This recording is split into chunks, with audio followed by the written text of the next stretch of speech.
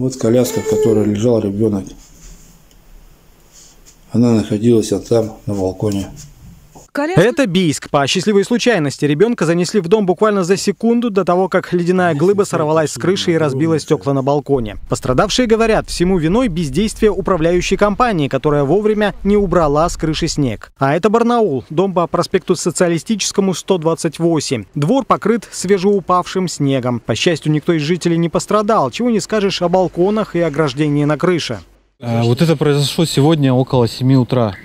Все. До, до этого момента управляющая компания снег с крыши не убирала должным образом. То есть, если в других домах убирают, там, естественно, нет таких сходов.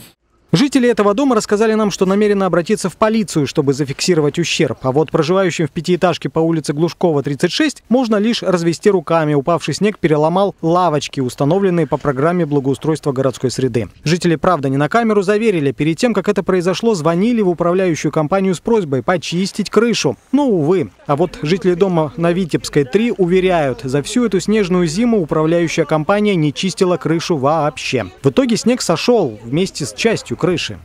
Первый раз очистили вот сейчас, когда случилось, что пошел снег с шифером вместе съезжать. Вот первый раз у нас почистили, приехали, пригнали три человека, вот они быстренько счистили его. Ну, уже тоже с остатками шифера, сколько там было. Дыры в кровле уже прикрыло свежевыпавшим снегом, и жители опасаются, что скоро съедет и остальное. Между тем, в администрации Барнаула нам пояснили, по правилам люди с лопатами должны появляться на крыше, когда толщина снега достигает 30 сантиметров, а во время оттепели должны работать постоянно. Увы, так поступают не все УК. Самый действенный способ повлиять на управляющую – обратиться с жалобой в городской комитет ЖКХ. Реагировать обещают незамедлительно, но делать это лучше всего письменно или через сайт ГИС ЖКХ. Просто позвонить по телефону и пожаловаться недостаточно. В то же время чиновники напомнили жителям нюансы. Не всегда чистить снег должна сама управляйка. Если собственники помещений в доме э, самовольно э, установили балкон, э, я имею в виду застеклили балкон, изменили конструкцию козырька, то данная обязанность ложится на плечи собственника э, данного э, балкона, собственника квартиры.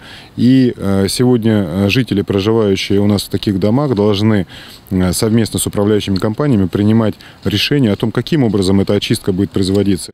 Между тем, по прогнозам синоптиков, в ближайшие дни природа даст горожанам перерыв, осадков не ожидается. Снег вернется лишь к концу недели. А жителям пострадавших домов остается надеяться, что на этот раз управляющие компании будут на чеку.